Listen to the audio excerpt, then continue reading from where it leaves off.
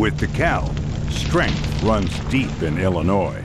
All season long, DeKalb stands strong, powering through the season, standing tall even in the toughest conditions. So when it comes time to harvest, you're bringing out the big scales.